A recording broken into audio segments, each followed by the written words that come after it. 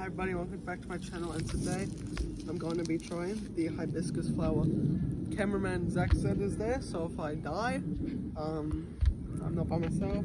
As I said I was going to eat it, tell you what it tasted like, and here it is. I can get the thing off.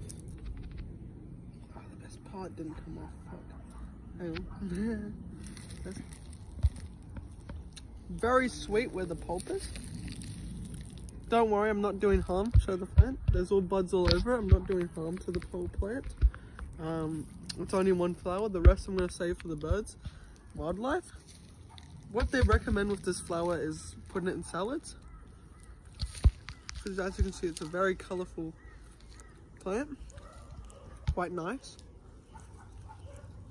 And there's the um honey. Nice. Don't recommend eating that part. Some guy got kidney damage from eating it. And tea, and I think they put a lot in a tea to make it strong. Because this hasn't got much flavour, so yeah. Peace.